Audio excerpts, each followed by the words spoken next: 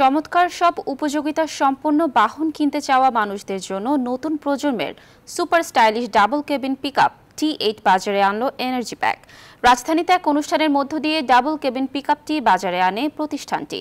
অনুষ্ঠানে প্রধান অতিথি হিসেবে উপস্থিত ছিলেন এফবিসিসিআই এর সভাপতি জসিমুদ্দিন এছাড়াও অনুষ্ঠানে আরও উপস্থিত ছিলেন এনার্জি প্যাক পাওয়ার জেনারেশন লিমিটেডের এমডি ও CEO Humayun Rashid JAC ইন্টারন্যাশনালের deputy general manager Oscar Yu এবং ইপিজেএল এর অন্যান্য কর্মকর্তাবৃন্দ।